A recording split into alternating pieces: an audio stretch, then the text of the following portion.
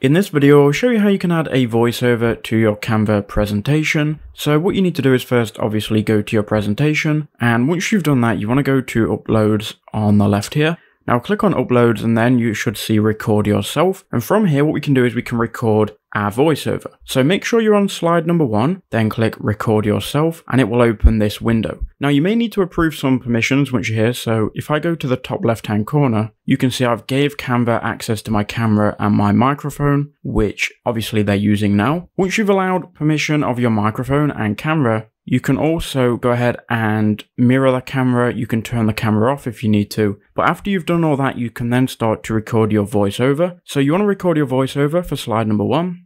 Hi guys, this is a business project recording. In this presentation, I'm going to show you my up and coming business project. So once you've gone ahead and made that recording, click on the done button and then you can go ahead and either delete it if you want or play it and listen to it back. So let's play it here and let's listen to it together. Hi guys, this is a business project recording.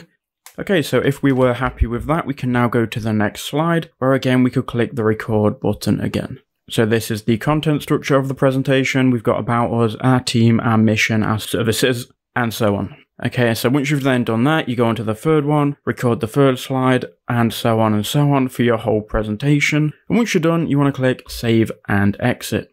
So once you save and exit, it then should add the audio on there automatically. So now if we go ahead and present in the top right hand corner and we present full screen, it should present with our voiceover. Hi guys, this is a business project recording. In this presentation, I'm going to show you my up and coming business project. Okay, so that's how you can do it. Pretty simple. I hope that did help you out.